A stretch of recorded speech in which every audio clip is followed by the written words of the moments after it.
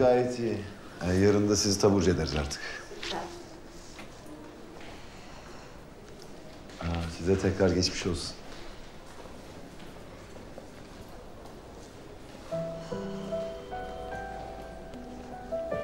Biraz konuşabilir miyiz?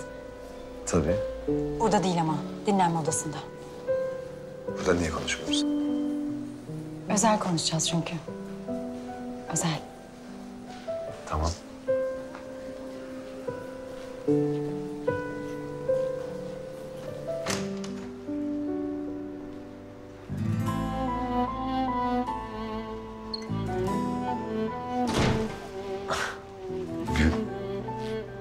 Ne oluyor? Ne konuşacağız?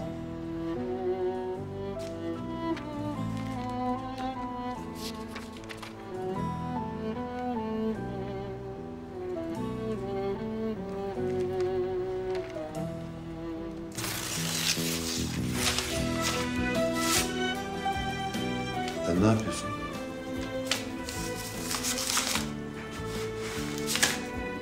Kendimi senden kurtarıyorum.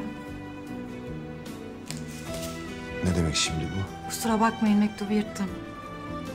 Ama olsun sizde bir kopyası vardır. Herkese aynısını yazdığınıza göre. Gül sen ne diyorsun?